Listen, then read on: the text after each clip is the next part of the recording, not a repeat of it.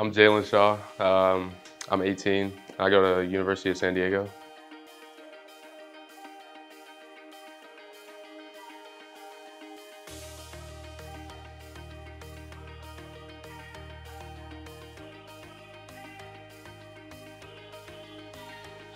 I like to work out, hang out with friends, family. We like to, you know, go to the beach, San Diego, go to one of my friends' apartments or dorms or whatever and just hang out, talk, stuff like that.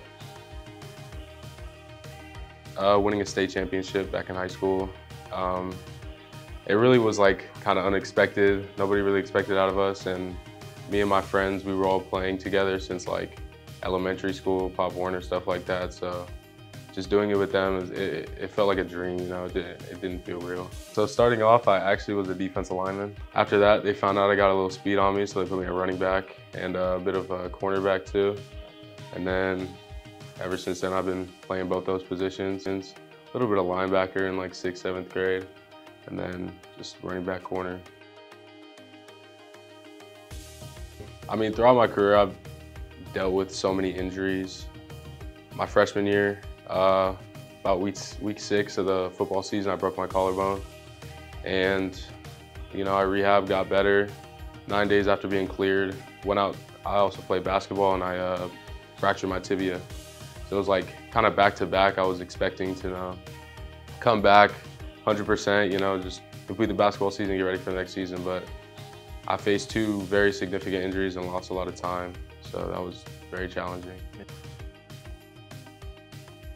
it made me realize how important it was to really like value taking care of your body and just like really living in the moment. The, the way I see it is like you really need to like enjoy what you're doing because every play could be your last play or like any play, anything could happen. You could break something, just like anything like that. And it's like I've dealt with so many injuries. I really focus on just like living in the moment and like stuff like that. So many people to me. Obviously my parents are very influential to me. Just like wanting to make them proud is like what drives me, but one person that really stands out to me my older brother. It's just someone I look up to because when I see him succeed, it's like, oh, that just makes me want to succeed. And like, I don't know if he knows this, but he sets a really good example, and that makes me want to set a good example because I've got two younger siblings. I have a younger brother and a younger sister. Yeah. He just gives me a little advice like, oh, make sure you keep up on sleep, you know? it's gonna be a grind. Like just make sure you keep up with everything. Make sure you're doing right, okay, like mentally and stuff mm-hmm. like that. Just keep on doing the little things and just focus on the next step rather than focusing on stuff behind you. Um, nobody has ever, in my family, at least graduated college with a degree. So that's something that really pushes me.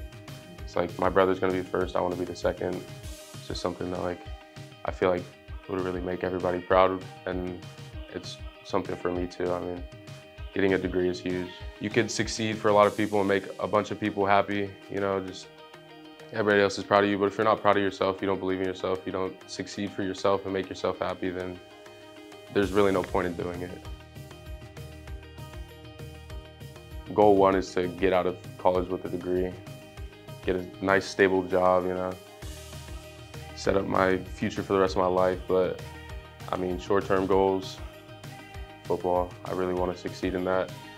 I've been out with an injury all the fall and this is my first time coming back, so that's like pretty huge for me. I really want to succeed in that.